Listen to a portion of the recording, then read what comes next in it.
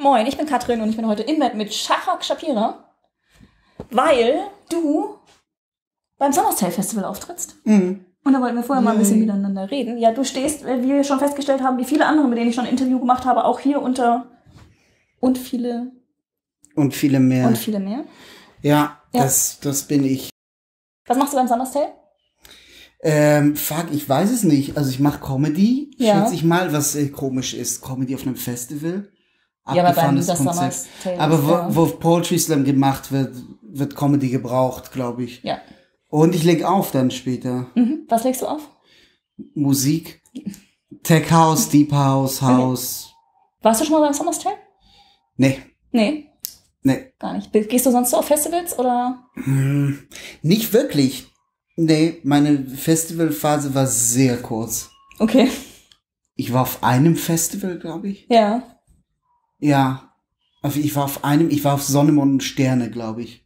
Das Also ist ich- auch so ein Elektro, oder? Ja, für Ossis. ist Elektro, aber für Ossis. Nein, es war gut. Chemical Brothers haben gespielt. Okay. Doch, ich war auch auf dem Dockville. Stimmt, das war Guck gut. mal. Weil ja. du hast ja auch in Hamburg. Ja, ich habe Ja. in Hamburg gelebt, da war ich auf dem Dogville. Es war nett, mal. es war nett, es waren, es waren äh, gute, tolle Musiker dabei. James Blake war dabei. Ja. War viel zu groß für James Blake leider. Trotzdem gut. gut. Purity Ring, ähm, Materia, also Masimoto. Es war, es war ein gutes Festival. Bleibst du beim Sommerstyle oder machst du nur den Tag, den du da bist? Also, wobei, wenn du nachts auflegst, wirst du auf alle Fälle irgendwo in der Nähe schlafen. Ja, ich werde in einem Hotel schlafen. In Lüneburg. Wie man das so macht, ja. wenn man auf Festivals geht. Ja, ne? Man Du, ich, ich mache das tatsächlich so, weil ich bin ja keine. Wobei auf dem Sommerstyle gibt's ja lustige, lustiges Komfortzelten und so Geschichten. Das ist so das ein? Scheiß. Dieser Scheiß muss aufhören. Entweder man geht auf ein fucking Festival Nein. oder man macht es nicht. Du kannst nicht diese, diese, ich sehe das, die Bilder im Internet, fucking Coachella-Zelte mit so einem. Nein, die sind aus Metall mittlerweile. Die haben, das ist Ja. nicht, nein, was ist das für, wozu zelten dann noch? Wenn dein fucking Zelt einen Wi-Fi-Hotspot hat, dann geh sterben. dann geh nicht zelten. Dann geh, du Ja, das musst ist ja ein Unterschied. zelten Das ist ja ein Unterschied, äh, ob ich ein vernünftiges Bett habe, in dem ich schlafen kann, oder ob ich äh, Schlaf auf Wi-Fi dem, habe. auf dem Boden. Auf Steinen. Mach dir ein Kissen aus Steinen. Das ist selten. Ja gut, deswegen mache ich das ja nicht, aber deswegen versucht, ja. Nö, ich finde das, ich finde das, also, ja. Dann würde ich eventuell tatsächlich auch mal zelten. Ich glaube, es wird langsam übertrieben. So. Mit dem Komfort. Mit- ja, aber ich ja. glaube, es gibt, ja, aber das Problem ist ja, dass äh, auch Menschen wie ich, die halt keinen Bock auf Zelten, gerne auf Festivals gehen. Und dann ist es ja ein ganz netter Kompromiss, weil dann muss ich mir kein teures Hotelzimmer, bei dem ich nachts noch 20 Minuten durch die Gegend fahren muss, suchen. Ich glaube, diese Zelte sind ganz schön teuer. Das kann, Aber gut, ja. Hotelzimmer ist auch, ja. Okay, aber du findest das eine Quatschidee. Das finde ich, jetzt- finde ich spannend. Habe ich noch nicht gehört. Aber kann Wohnwagen. Wohnwagen kann man machen. Das ist doch. Das ist auch ein vernünftiges Bett, da hast du recht. Ja. Ja. Gut, aber ich meine, da kann ja, können sich ja die Leute entscheiden, die sich das leisten wollen oder nicht, ob sie das machen. So, lass uns doch mal hier über äh, so Bettsachen reden. Hm. Was äh, hast du denn letzte Nacht so getrieben? Geschlafen. Und davor? Gestern Abend so? Davor Was? nicht geschlafen. Warte. Davor, fuck, ich war wieder im Fitnessstudio seit langer Zeit. Ich musste. Ja. Ich hasse es. Ich wie, hasse wie, es so gehst du regelmäßig oder nicht? Nein, Nein, okay, offensichtlich so ja nicht, weil du hast ja gerade gesagt. Nein, ich habe jetzt, aber ich muss jetzt regelmäßig gehen, sonst wird das hier noch schlimmer. Ja, ich habe ja, äh, wir wir haben witzigerweise eben noch kurz auf der Wikipedia nachgeguckt, weil wir uns nicht sicher waren, wie alt du bist und haben festgestellt, du hast ja gerade diesen, ab dem mal, ab jetzt geht's bergab, ne? Ja. Ja. Ja, jetzt. Naja, also ab jetzt muss man gegenarbeiten Es zumindest. ging ein bisschen vorher schon bergab, Ja. also von daher. Aber gegenarbeiten, also ich, äh, ja. Es ist hart, ich bin ja jetzt 30 geworden. Es ist, Also herzlichen Glückwunsch nachträglich übrigens, vor, ja, vor vier Tagen. Vor danke, fünf Tagen, ich, sechs ich Tagen, hasse sieben mich. Ja, Du hast dich. es, ich gehe jetzt nicht mehr, weißt du, ich war mal im Fitnessstudio, das war irgendwie ein Hobby. Es gab mal eine Zeit, wo es für mich ein Hobby Ja. war. Das ist nicht mehr, das ist Pflicht. Andererseits gehe ich jetzt einfach so zum Arzt. Einfach so, das machst du, wenn du 30, ab, ab das so? 30, du gehst einfach so zum Arzt. Du Ja. musst nicht krank sein. Das ist dein Hobby dann. Du gehst einfach zum dachte, Arzt. das fängt mit 17 Jahren. Nein, du gehst zum Arzt ab fängt das 30, mit 30 du, und an. lässt dich überraschen. Also, was wird's heute? Knie, Nieren, Alzheimer. Ja. Es kann alles werden. Es ist, weil irgendwas, irgendeine Scheiße wird sein. Ab 30 wird, ich, ich gehe hin, lass mich hin, nimm mein Blut, schau, was du findest. irgendeine Scheiße wird drin sein. Ja. Es ist wie, ich glaube, ab 30 ist dein Blut wie so, wie so ein Überraschungsei. So, oh, Krebs. ja. Ja. Also ich freue mich sehr, 30 ja, zu sein. Ja. Äh, Und ich war im Fitnessstudio, ich, Ja, ich okay. hab's gehasst. Ich, Äh, ma- machst du Kurse oder machst du nur Nein. so und so? Sag das Nee. nicht so abfällig. Ach, groß. Ich bin, das ist so ironisch, weil ich bin mit dem, ich fahre mit dem Fahrrad ins Fitnessstudio, um da da einfach noch- nochmal Fahrrad zu fahren. Aber das ist eine ist äh, Weil das Alltagsbewegung und eine das andere Fahrrad im ist Training. Fernsehen und das andere nicht. Und dann sitze ich da auf dann dem Fahrrad, Ja. bis ich zu viel Hunger kriege und, und dann hörst du und dann gehe ich zu fucking Burger King. Gehst du? Nein, Ich wollte gerade sagen. das wäre, das wäre ja noch dämlicher. Ich- Na gut, aber das, ja. Es wäre fast traurig. Also, du verbrennst ja, all ist ungefähr genauso Kalorien traurig wie die Leute, die aus dem Fitnessstudio kommen und sich erstmal eine Klimme anstecken. Das ist dumm. Ja. Aber Das ist dumm. Das ist ein bisschen dümmer, weil die haben nicht viel vom Rauchen. Ich hab was von, von Burger King. ja, aber das erklär mal Rauchern, dass sie nichts vom Rauchen haben. Das wollen sie irgendwie nicht verstehen. Ich habe es Nee. mehrmals versucht. Die sagen, nee, ich finde Rauchen geil. Ja. Okay, also das heißt, wir haben schon mal, du rauchst, okay, ja. Hm? Du nee, ich bin, ich bin der Anti-Raucher. Ich Ja, verstehe, das ist eine ja, Sucht. Ich, so ein aber, Hand- so ein ich verstehe diese, ich verstehe diese Sucht nicht, weißt du? Ich verstehe Alkoholismus. Verstehe ich, weil du trinkst, wirst besoffen. Du kannst Menschen für ein paar Stunden ertragen. Ja. Dafür lohnt es sich. Heroin. Okay, du nimmst es, du kannst Menschen für zwei Tage ertragen. lohnt sich? Ich sehe schon, du äh, Ich weiß nicht, ob es sich lohnt, aber es gibt, an, an Drogen es gibt, ein, okay. es gibt einen Benefit so. Du Ja. kriegst etwas zurück. Rauchen, du machst einfach nur so. Das ist das, was du dav- davon kriegst. Ich, ich Das und Lungenkrebs. Ja. Weißt du, ich finde, wenn schon Lungenkrebs, dann muss man vor ein bisschen Spaß haben. Und nicht nur für. Ja, ich sehe das ganz genauso, aber da gibt's ja genug Leute, die das. Äh, so, komm, wir machen Was hier ich wieder sagen so, möchte, ist, nehmt Heroin anstatt zu rauchen. Statt so ganz klare Schlussfolgerung. Botschaft an euch. Ja. Dann geht's auch wenigstens schneller zu Ende. Also dann ist das, zieht sich das Leiden nicht so in die Länge im Zweifelsfall. Ich finde, Menschen, die Heroin nehmen, sind weniger nervig als Raucher.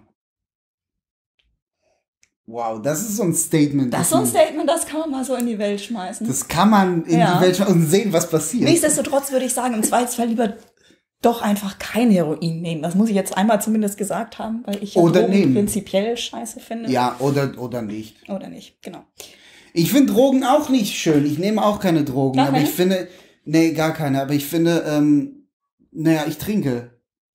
Das und man tut immer, man tut immer so, als wäre Alkohol Das ist, ich trinke auch nicht. bei weitem nicht so schlimm wie, Das ist Humbug.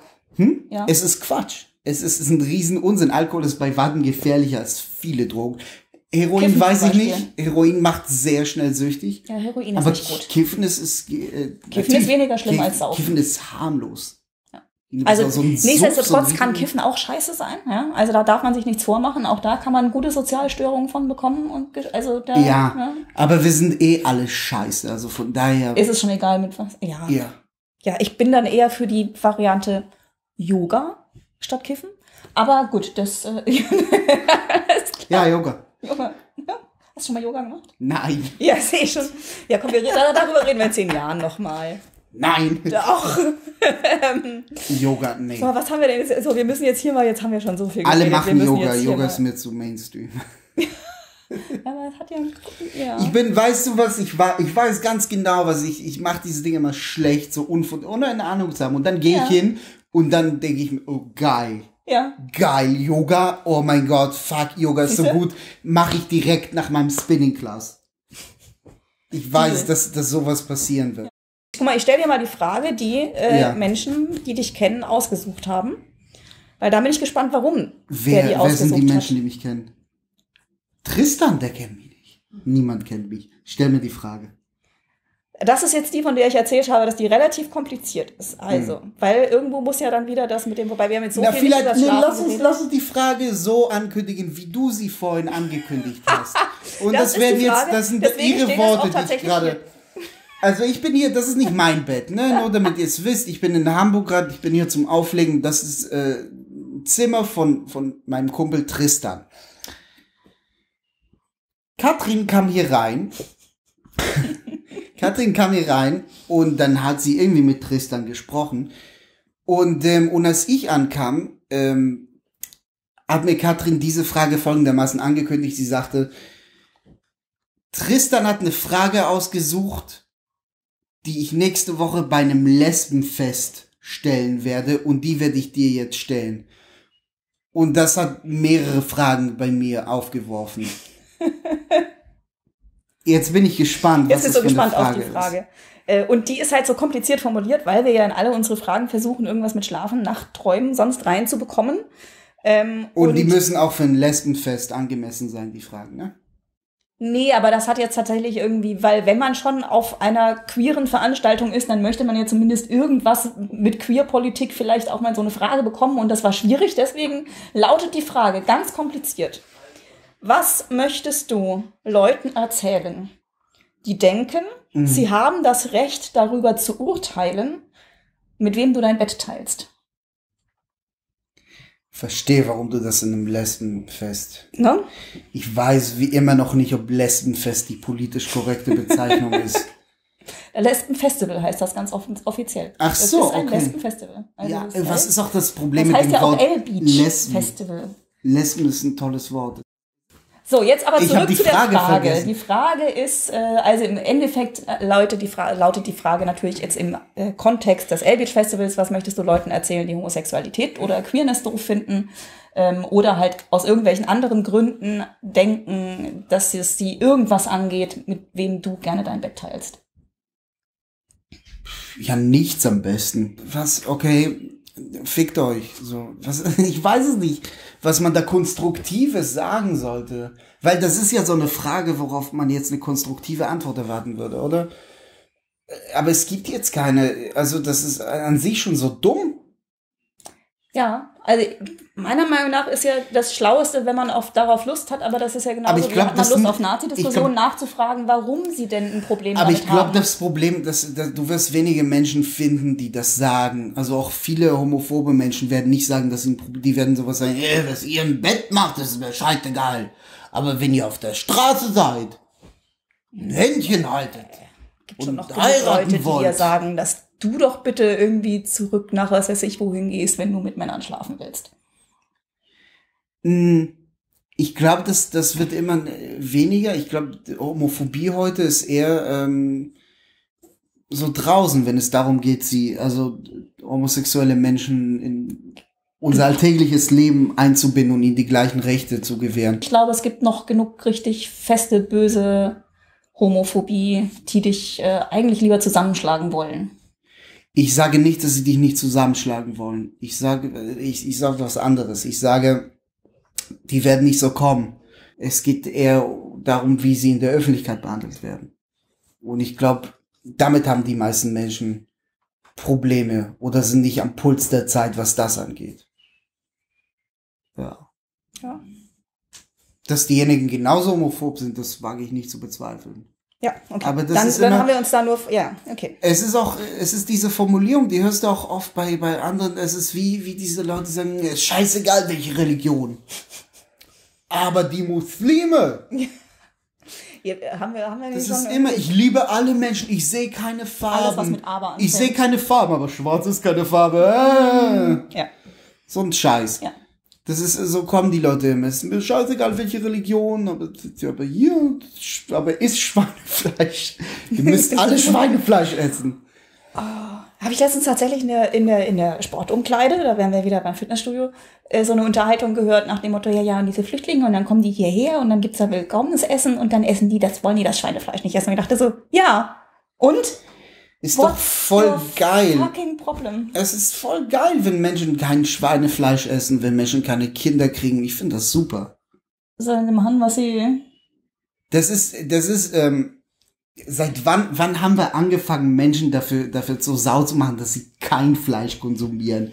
Oder dass sie keine Kinder kriegen? Dass sie zu wenig, zu wenig Umweltverschmutzung betreiben? Ich weiß es nicht. Ich weiß es auch ich weiß nicht, wann, wann, wann es so verpönt geworden ist Pflanzen zu essen, statt ein Stück Rind, wo du das ganze Wasseraufkommen der Welt dafür verschwendest, um es zu machen. Ich esse auch Fleisch, so ist es nicht. Und, und ich bin auch nicht, aber, aber ich, ich verstehe diese Menschen nicht, die halt, die es drauf anlegen, dass alle anderen auch Fleisch essen. Das war mir nie wichtig. Ich stelle dir jetzt eine letzte Frage. Hm. Äh, welches Monster schläft unter deinem Bett? Ähm.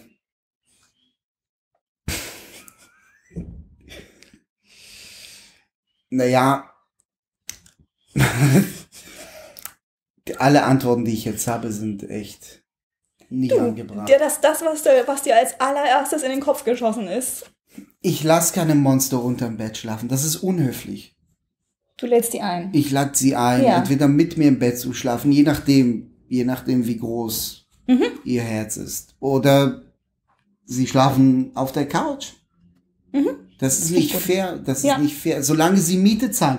Weißt Ja. und was die im Bett machen, das ist mir egal, ja. Das ist Das ist mir egal. Die sollen Schweinefleisch essen, meine Monster. Das ist mir wichtig. Die sollen Schweinefleisch essen? Die sollen Schweinefleisch essen. Schweinefleisch. Achso, ja, sonst könnte ja irgendein religiöser Hintergrund dahinter stecken. Die müssen Schweinefleisch essen. Schweinefleisch und Kinderfleisch. Dafür, so wie Monster es halt und, tun. und Hunde. so, Katzen. so wie so wie es in der Bibel steht, Ja. Monster essen Kinder. Das war immer so und ich habe keinen Bock auf diesen progressiven liberalen Scheiß, dass es Monster gibt, die halt die halt unter Bett schlafen, aber keine Kinder essen. Nee, Monster, was bei mir schlafen will, das muss Kinder essen. Ich finde, das, mit diesem wunderschönen Schlusswort können wir uns von der Welt verabschieden. Wollen wir denen nochmal Tschüss sagen? Tschüss da draußen im Internet. I know it's love on the first swipe because I really dig your body type. So swipe right, swipe right from your finger to your heart. Swipe right, swipe right, baby, baby, swipe right. Cause you're the only one that wrote me back tonight.